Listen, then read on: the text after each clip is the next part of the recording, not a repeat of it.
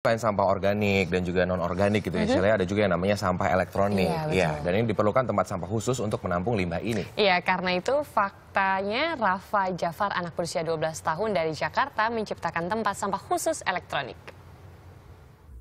Banyaknya peralatan elektronik yang tidak terpakai di rumahnya jadi inspirasi Rafa untuk membuat tempat sampah elektronik. Ide itu ia gunakan untuk tugas sekolahnya. Tempat sampah buatan siswa kelas 7 SMP ini diberi nama e-waste drop zone. E-waste drop zone mampu menampung ratusan sampah elektronik. Tempat sampah elektronik ini berbeda dengan tempat sampah pada umumnya.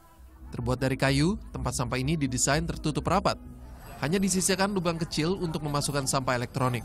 Jadi tempat sampah Dropbox ini itu tertutup karena takut nanti uh, e-waste-nya bisa mencemari udara kalau kebuka dan terbuat dari kayu karena kalau besi keberatan nggak bisa dibawa ke mana-mana dan lubangnya kecil karena uh, hanya muat sampah elektronik yang kecil seperti HP, baterai, uh, kabel dan lain-lain.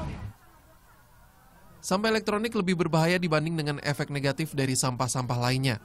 Sampah elektronik mengandung racun yang bisa mencemari lingkungan jika dibuang sembarangan.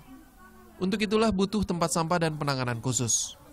Jadi sampah elektronik ini dalam pembuat eh sorry barang elektronik ya dalam pembuatannya itu dia ada diberi logam eh, tertentu yang membuat dia bisa berfungsi. Jadi listrik itu bisa ngalir dari satu tempat ke tempat lain.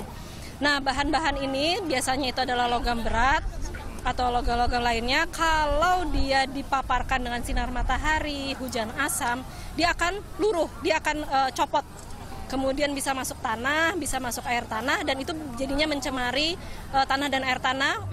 Minggu pagi e-waste drop zone dipamerkan pada Car Free Day di Bundaran Hotel Indonesia, Jakarta.